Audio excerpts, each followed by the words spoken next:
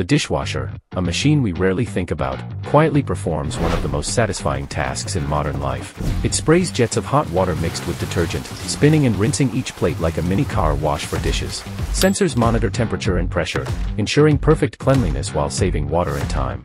What began as a 19th century invention born from frustration with hand washing has become a symbol of everyday convenience, turning chaos into clean with the push of a button. How to build the dishwasher. Number 1. Build the side walls. These ledges on the wall are designed to hold the dish trays in place. So, the left wall and right wall are done. Number 2. Build the back wall. Now, I'll build the detergent dispenser tray. Number 3. Build the top cover. The roof. Now I'll add the control buttons to the machine. Number 4. Build the front door.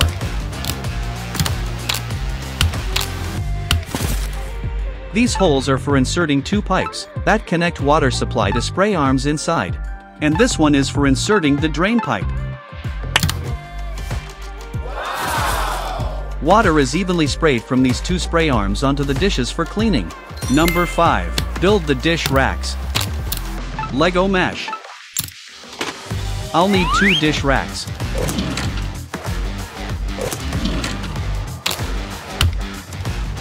Testing. Connect to the water pump.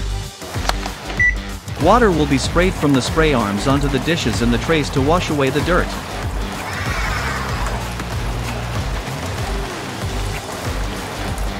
That will then flow out with the water through the drain hole. Your order is here.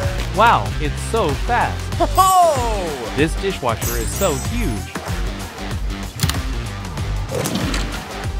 Let's load all the dirty pots, pans, plates, and dishes inside it.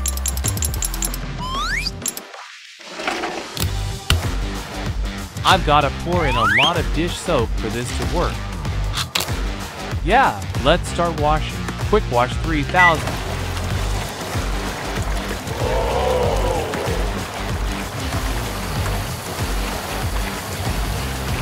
Wow, those water jets are really powerful. How gross. Didn't think my dishes were this dirty. Awesome. Everything is all clean. Now I just need to let it dry the dishes. Then we're done. Great. The cycle is done. Whoa! These dishes look even cleaner than when I first bought them. That's it all done. I should take a break.